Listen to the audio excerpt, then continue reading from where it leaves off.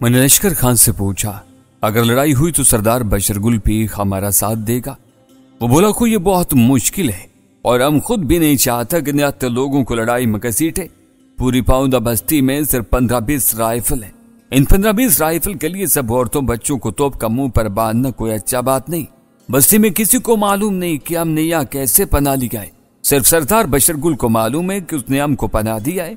हमारे दरमियान तय कि अगर इस अचान के सामने हमारा राज खुल गया तो बशरगुल इस मामले से बिल्कुल अलग हो जाएगा।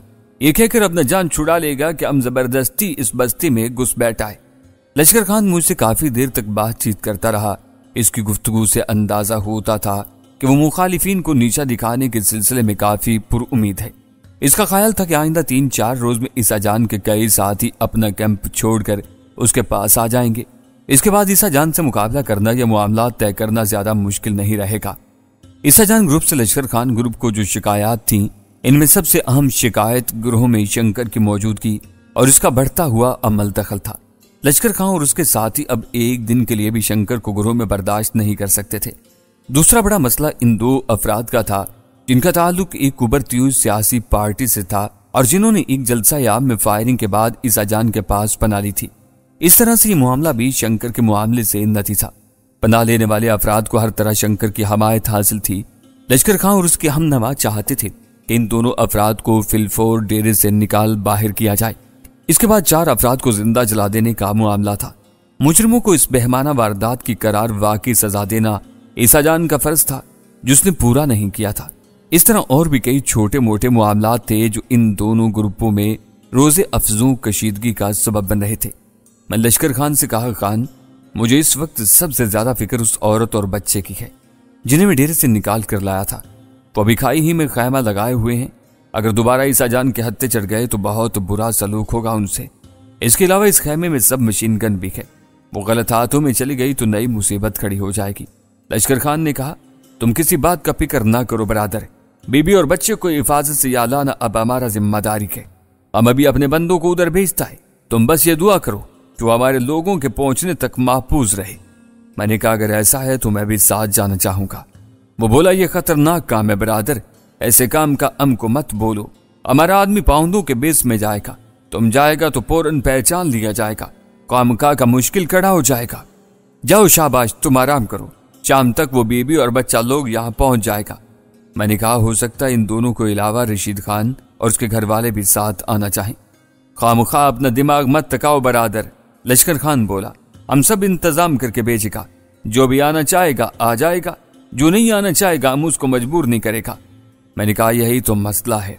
हो सकता है तुम्हारे भेजे हुए आदमियों के साथ वो लोग आने से इनकार कर दें। अगर मैं साथ हूँगा तो ज़्यादा परेशानी नहीं होगी। लश्कर खान बोला, तुमने बात बिल्कुल ठीक किया है, लेकिन इस मसले का हल भी हमारे पास है। वो बीबी का नाम है उसका नबीला। वो पढ़ा लिखा है ना, और तुम भी पढ़ा लिखा है। अंग्रेज़ी जानता है और हमारा ख्याल है, तुम भी जानता होगा। इसको अंग्रेज़ी में चिट्ठी लिखो, अपने दस्तखत के साथ। और सारी बात बता दो। ऐसे समझा दो कि तुम्हारा आना क्यों मुश्किल है? वो अंग्रेज़ी का चिट्ठी पर पूरा एतबार करेगा। हमको यकीन है वो इतना बेवकूफ़ नहीं कि झूठ सच में फ़र्क न कर सके। लश्कर खान को कायल करना खासा मुश्किल नज़र आ रहा था। मैं कहता कि मुझे अंग्रेज़ी नहीं आती तो वो उर्दू ही में चिट्ठी लिखवा देता। मैंने खामोशी इख्तियार कर ली। लश्कर खान बोला, हमारे दरमियान बहुत सारा बात हुआ, लेकिन असल बात नाम ने पूछा और न तुमने बताया। हम तो तुम्हें बीबी और बच्चा के पास कैमे में छोड़ कर आया था। तुम इधर बशरगुल के पास कैसे पहुँच गया? जवाब में मैंने लश्कर खान को बताया कि किस तरह मैं नायक अब्बास खान को तलाश करने खाई से निकला और कैसे रास्ता भटक कर पाउंदा बस्ती की तरफ़ निकल आया।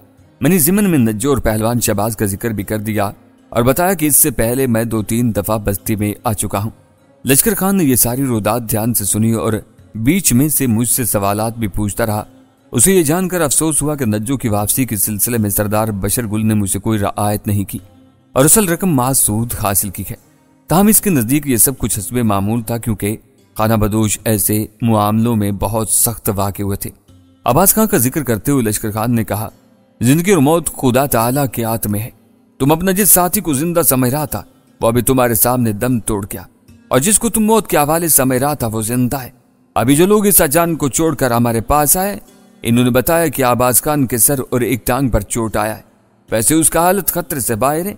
डेरे पर उसका मरम पट्टी करके उसे एसपी बरकत वगैरह के साथ बंद कर दिया गया है। ये एक अच्छी खबर थी। पिछले छत्तीस घंटों में मैं अब्बास खान के लिए बहुत फिक्रमंद रहा था। उसकी मुसीबत मुझे रह रहकर नूर मोहम्मद की याद दिलाती थी। अटक जेल में तड़प तड़प कर जान देने वाला नूर मोहम्मद भी तो आबाज खान की तरह एक खुश आवाज़ शख्स था। इस आवाज़ की मौत का सदमा अभी तक मेरे जहन में ताज़ा था। कि यह दूसरी आवाज़ भी मेरी आँखों के सामने खामोशियों के गहरे कुएँ में उतर गई थी। मुझे खदशा था कि यह आवाज़ भी दम तोड़ गई है। लेकिन अब लश्कर खान की जुबानी पता चल रहा था कि नहीं, अभी नगमा ज़िंदा है। लश्कर खान और मैं पत्थर से उठ खड़े हुए। लश्कर खान वापस सरदार बशरगुल के झोपड़े में जाना चाहता था, जबकि मैं नज्जू से दो बातें करना चाहता था। मैं लश्कर खान से कहा, तुम चलो, मैं अभी इस लड़की से मिलकर आता हूँ। लश्कर खान अपनी भारी भरकम राइफल कंधे पर डालकर सरदार के झोपड़े की तरफ़ चल दिया। इंस्पेक्टर बाजवा की लाश अभी तक उसी झोंपड़े में रखी थी। आसार से नज़र आता था कि अभी बस्ती में किसी को उसकी मौत की खबर नहीं दी गई थी। झोपड़े का दरवाज़ा बंद था और सरदार बशरगुल के दो खास आदमी पहरा देने वाले अंदाज में वहाँ मौजूद थे। झोपड़े में रखी हुई बाजवा की लाश का तस्वुर करके एसपी बरकत का चेहरा मेरी आँखों में घूम गया। वो हर माहतहत को भूतनी दाग कहते थे, लेकिन इंस्पेक्टर बाजवा के लिए यह लकब इस्तेमाल नहीं करते थे। सूबेदार मरजान ने एक रोज पूछा था तो इंस्पेक्टर के लिए लकब इस्तेमाल क्यों नहीं करते? एसपी बरकत ने कहा था, मैं उसे इसलिए भूतनी का नहीं कहता कि यह सचमुच भूतनी का है। क्या मतलब? सूबेदार ने वजाहत चाही थी कि मेरी सास का बेटा है। एसपी बरकत का जवाब था, आज एसपी का वो खुश बाश बरादर निस्बती इंसानों से और दुनिया से हर निस्बत तोड़कर राह अदम हो गया था। मथी में कदमों से नज्जों की तरफ़ रवाना हो गया। झोंपड़े में नज्जों ने गुड़ के चावल पका रखे थे। चावलों की खुशबू झोंपड़े में और झोंपड़े से बाहर फैली हुई थी। यूँ लगता था किसी बड़े देजके में यह डिश तैयार की गई है। मैंने झोंपड़े का दरमियानी पर्दा उठाकर देखा तो ये अंदाज़ा दुरुस्त निकला। नज्जो एक देजके के करीब बैठी थी, आज उसने नया लिबास पहना था और बाल भी सलीके से बाँध रखे थे। रात वाली सोगवारी अब उसके चेहरे पर न होने के बराबर रह गई थी। नज्जो बंद संवर कर माकूल शक्ल सूरत की दिखाई देने लगी थी। इस माकूल सूरत में उसकी जिस्मानी दिलकशी जमा कर दी जाती तो सैकड़ों हज़ारों औरतों में एक थी। मैंने पूछा, ये इतने ढेर सारे चावल क्यों पकाए हैं? वो जरा शर्मा कर बोली, साहब जी, मैंने मन्नत मानी थी। कैसी मन्नत? यही कि आप या शहबाज में कोई दो रोज में वापस आ गया ना तो मीठे चावल बांटू की। अल्लाह ने मेरी सुन ली है अब मुझे भी मन्नत पूरी करनी चाहिए। मैंने कहा, शहबाज वाली बात तो मेरी समझ में आती है लेकिन मेरे आने से इतनी खुशी क्यों? मैं तो तुम्हारे लिए कोई अच्छी खबर भी नहीं लाया। आप आ गए हैं ना, यही बड़ी बात है। अब अल्लाह सोना कर्म करेगा तो अच्छी खबर भी आ जाएगी। उसकी आँखों में एकदम आस के दिए जल उठे। वही दिए जो वो पिछले एक हफ़्ते से जबरोज जलाए बैठी थी।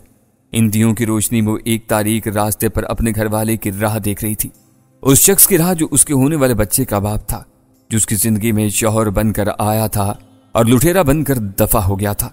नज्जो को उसकी दगाबाजी का कुछ पता नहीं था। वो उसे सर का ताज समझ रही थी और रात दिन उसके लिए दुआ गो थी। गर्मा गर्म चावलों की एक थाली भरकर उसने मेरे सामने रख दी चावलों को देसी घी में चमकाया गया था। इनमें किशमिश, बादाम और सौंफ वगैरह डाली गई थी। शक्लो सूरत गवाह थी कि बड़े मज़ेदार चावल हैं, मगर चखे बगैर ही वो मुझे कड़वे लगे। इनमें एक सीधी सादी औरत की नाकाम तमन्नाओं का लहू शामिल था। इसके अलावा अभी थोड़ी देर पहले मैं इंस्पेक्टर बाजवा की लाश देकर आया था। इसकी मौत का गम एक साथ धुंध की तरह मेरे सीने में फैला हुआ था। ऐसे में कुछ खाने पीने का सवाल ही पैदा नहीं होता था। मैंने प्लेट एक तरफ़ हटा दी वो घबरा कर बोली, साहब जी, क्या बात है? कोई बात नहीं, बस दिल नहीं चाह रहा। आपने नाश्ता भी नहीं किया। आप दो बुरकी चावल ही खा लेते। नहीं, अभी रखो, मैं ठहर कर खा लूँगा। दिल कुछ परेशान है। क्यों? क्या बात है, साहब जी? दरअसल मेरा एक साथी मारा गया है। खायर रब्बा नजू ने सीने पर हाथ रखा। कब की बात है ये? अभी जब मैं सरदार के झोपड़े में गया हूँ तो पता चला है। किसी ने गोली मारी है उसे। नज्जो की बड़ी बड़ी स्याह आँखें अंधों में डूब गईं। कौन था वो? किसने मारी गोली? मैं जानता था कि अगर मैंने डाकू के हाथों मकतूल के अगवा का ज़िक्र किया और दिगर तफसील बताई तो नज्जो का ध्यान खुद ब खुद शहबाज की तरफ़ चला जाएगा और वो जो पहले ही परेशान है, मजीद परेशान हो जाएगी। मैंने गोल मूल बात की उसे बताया कि मकतूल शिकार पार्टी में हमारे साथ आया था। बाद में कहीं खो गया, शायद बॉर्डर की तरफ़ निकल गया था। वहाँ उसे किसी ने गोली मार दी। नज्जो की आँखों में आँसू चमकने लगे। वो चावलों की थाली उठाकर खामोशी से अंदर ले गई। मैंने उन्हीं पर्दे की इधर से उसे आवाज़ दी नज्जो बात सुनो। जी साहब जी वो गुमसुम सी मेरे सामने आन खड़ी हुई। देखो, अगर चावल पका लिए हैं तो बच्चों वगैरह को खिला दो इन्हें जाया मत करना। वो बोली ये कैसे हो सकता है साहब जी? सरदार के झोपड़े में आपके दोस्त की मैयत पड़ी है और मैं यहाँ चावल बांटती फिरूं। तो क्या करोगी इनका? फेंकाऊँगी डंगरों की खुरली में। देखो, तुमने ये काम सवाब के लिए किया था और सवाब चीज़ को जाया करने में नहीं उसे जरूरतमंद तक पहुँचाने में है। अगर बांटना नहीं चाहती हूँ तो खामोशी से बच्चों को यहाँ झोंपड़े में बुलाकर खिला दो। मैं सरदार के झोंपड़े में जा रहा हूँ। वहाँ कफन दफन का इंतज़ाम करना है। शाम को वापस आऊँगा। नज्जो सर झुकाकर नाक से सू सू की आवाज़ें निकालती हुई वापस चली गई। उठकर सरदार के झोंपड़े की तरफ़ चल दिया। इस दूर दराज मकाम से इंस्पेक्टर की लाश वापस शहर तक और उसके घर तक पहुंचाना बहुत मुश्किल काम था। खास तौर पर इस सूरत में कि बस्ती से बाहर निकलते ही ईसा जान के साथियों से मुठभेड़ का इम्कान था। लिहाजा अमानत के तौर पर इसे वहीं बस्ती के करीब मेमानी के पेड़ों तले दफना दिया गया। अपने अजीजो अकारब से बहुत दूर इस अनजान इलाके में अजनबी लोगों के कंधों पर इंस्पेक्टर बाजवा का सफ़र आखरत रिकत अमेज था। दोपहर को उसे सुपुर्द खाक करके हम वापस आ गए। शाम के बाद तक मैं सरदार बशर गुल के झोपड़े में मौजूद रहा। लचकर खान और जख्मी जब्बार भी वहाँ थे। मुख्तलिफ़ मौजूद पर बातें होती रहीं, लेकिन अहम मौजू एक ही था और वो ये था ईसा जान और इसके ग्रोह का मुकाबला कैसे करना है। शाम के फ़ौरन बाद लश्कर खान को एक और खुशखबरी मिली। ईसा के साथियों में दस अफराद पर मुश्तमिल एक और टोली पौधा बस्ती पहुँच गई थी। इन अफराद को ईसा जान से तोड़कर पौधा बस्ती लाने वाला लश्कर खान का होशियार साथी जुमा खान था। इसकी वफादारी गैर मुतजलजल थी। सिर्फ़ एक दिन पहले उस लश्कर खान के हुक्म पर कोड़ों से उधेड़ा गया था। बजाय इसके कि वो दिल में कोई रंजिश रखता या वैसे ही लश्कर खान को छोड़ जाता। वो पूरी सरगर्मी से इसका साथ दे रहा था और तकलीफ़ के बावजूद बढ़ चढ़कर इस सर्द जंग में अपना किरदार अदा कर रहा था। लश्कर खान के इसरार पर मुझे भी अपना लिबास तब्दील करना पड़ा।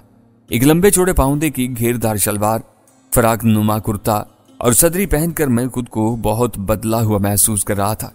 सरदार के आरामदेह झोपड़े में रात गए तक गुड़गुड़ियाँ सुलगती रहीं और कहवे की प्यालियाँ चकराती रहीं। आखिर ये महफिल बर्खास्त हुई और मैं लेटने के लिए अपने ठिकाने पर आ गया। ये खैमा नज्जो के झोंपड़े से करीब ही था। मेरे अलावा लश्कर खान के दो साथी भी इस खैमे में मुकिम थे। लश्कर खान के साथियों की तादाद अब पचास से ऊपर हो चुकी थी। इन पचास अफराद के लिए एक भी नया खैमा या झोपड़ा खड़ा नहीं किया गया था। बस वो इसी तरह एक एक दो धोकर के बस्ती में फैल गए थे। इनके घोड़ों को भी बस्ती के घोड़ों में गलत मलत कर दिया गया था। और अब इनकी अलग से पहचान बहुत मुश्किल थी। हसब रवाज इस ओनी खैमे में एक चट्टाई मौजूद थी। खैमे के दरमियान एक अंगीठी सुलग रही थी और अंगीठी के इर्द गिर्द भेड़ की खाल के तीन बिस्तर बिछे थे। मेरे खैमे के साथी मेरे आने से पहले ही नींद के आगोश में जा चुके थे। मैं नींद पर एक तायराना निगाह डाली और अपने फर्शी बिस्तर पर दराज हो गया। बाजुकात एक बिल्कुल मामूली सी बात इंसान के जहन में एक ऐसी खिड़की वाह करती है जिसकी दूसरी तरफ़ यादों का एक जहान आबाद होता है। खिड़की खुलते ही एक अहद हमारी आँखों के सामने आता है और यके बाद दीगरे बीत जाने वाले शब रोज, घड़ियाँ, पल और लम्हे कितार अंतर कितार हमारी आँखों के सामने से गुजरने लगते हैं। बिल्कुल जैसे वो अब भी ज़िंदा हूँ, अपने तमाम तरजुजियात और अपने मुकम्मल रंग रूप के साथ, न जाने जहन का वो कौन सा नेहा खाना है, जहाँ वक्त महफूज होता है। और मुख्तलिफ़ यादों की खिड़कियों में बड़ी तरतीब से आरास्ता हो जाता है। ऐसी तरतीब के साथ के जमाने गुजरने के बाद भी हज़ारों लाखों यादों में से अक्सर यादें ढूँढने पर फ़ौरन मिल जाती हैं। बिस्तर पर दराज होते मेरे जहन में जो खिड़की खुली थी, इसमें मेरी ज़िंदगी की अहम तरीन यादें महफूज थी। इस खिड़की के खुलने की वजह कोई बहुत अहम वाक़ या मंजर नहीं था। एक मामूली सी बात थी। नज्जो ने आज मीठे चावल पकाकर बच्चों को खिलाए थे। इसने मन्नत मान रखी थी। एक ऐसी ही मन्नत बरसों पहले भी एक औरत ने मानी थी। इस मन्नत की नस्बत से मुझे बहुत कुछ याद आ रहा था। कई ख्याल रह रह कर जहन पर यलगार कर रहे थे। सारा दिन तो मसरूफ रहा था, लेकिन अब बिस्तर पर लेटते ही एक दबस्तान निगाहों के सामने खुल गया था। लगा जैसे किसी तूफानी झक्कर ने मुझे अपनी लपेट में लेकर ज़मीन से उठाया है और वक्त की सुरंग से गुजार कर कई बरस पीछे एक मकान की छत पर फेंक दिया है। मैं इस छत पर खड़ा मुंडेर के रखनों में से एक कमरे में झाँक रहा हूँ। इस कमरे में एक लड़की आईने के सामने खड़ी बाल संवार रही है। मैं उसे देख रहा हूँ और देखता चला जा रहा हूँ। मेरी आँख झपक रही है, ना मेरी सांस चल रही है। बस दिल धड़क रहा है और उसकी हर धड़कन से किसी की सदा आ रही है। ये किस मकान की छत है? ये कौन लड़की है? मैं इस छत को और इस लड़की को कैसे भूल सकता हूँ? भूल ही नहीं सकता। कोई पौधा अपनी ज़मीन को, कोई शोधा अपनी शम्मा को और कोई बर्ग अपनी शाख को भूल सकता है। और भूल कर ज़िंदा रह सकता है? ये मेरे घर की छत है, जहाँ मैं अपने वालदेन और अपनी बहन के साथ रहता हूँ। दूर एक दूसरे मकान के कमरे में आईने के सामने बाल संवारने वाली लड़की मेरी ज़िंदगी है।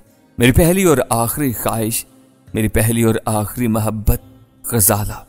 एकदम ही मैं सब कुछ भूल गया। जो मुश्तका ये वीराना, ये पाउंदा बस्ती, ये सर्दी की लहरों पर डूबता उबरता खैमा, नज्जो, फरियाल ईसा जान, शंकर, लश्कर खां, कुछ भी मुझे याद नहीं रहा।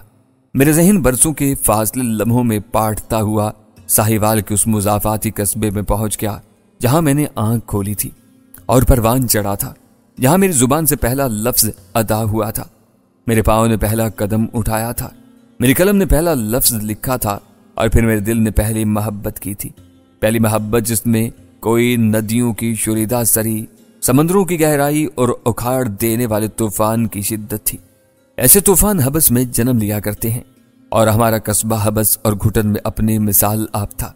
इस कस्बे और इर्द गिर्द के चंद देहात पर एक खुदाई फौजदार की तरफ़ से एक ऐसा कानून नाफिज कर दिया गया था, जिसका मसरफ उसके सिवा और कुछ नहीं था कि जीदार मतवाले इसे तोड़ दें हर सजा के खौफ से बेनियाज होकर इसकी धजियाँ बखेरे और बखेरते रहे।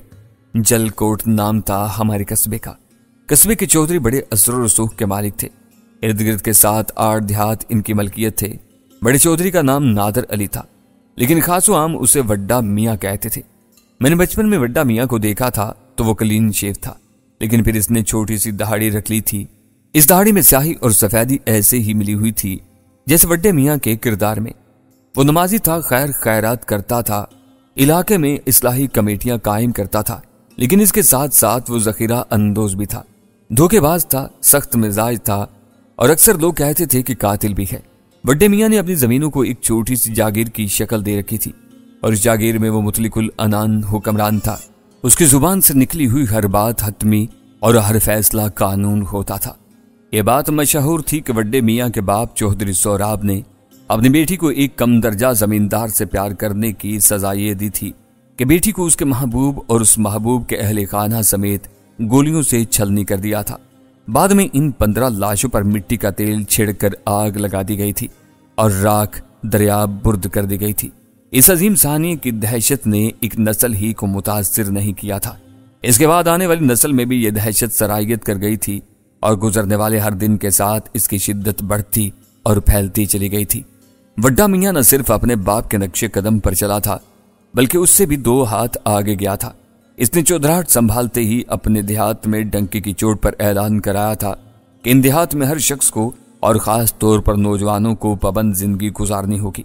यहाँ का कोई नौजवान सिनेमा देखने शहर नहीं जाएगा और ना शहर के किसी खेल तमाशे में हिस्सा लेगा, कोई लड़का बाल नहीं बढ़ाएगा, कढ़ाईदार कुर्ता नहीं पहनेगा सरयाम गाना नहीं गाएगा और कोई साज बजाना नहीं सीखेगा। देहात की हदूद में रेडियो, अखबार वगैरह हराम होंगे इस हराम को हलाल करने वाले हर शख्स को सजा दी जाएगी। अगर किसी लड़की लड़के में मेल साबित हो गया तो दोनों सख्त तरीन सजा के मुस्तक होंगे। और अगर इनके वालदेन जिम्मेदार पाए गए तो वो भी घसीटे जाएँगे। जिन दिनों ये हुक्मनामा जारी हुआ, मैं सात आठ साल का था।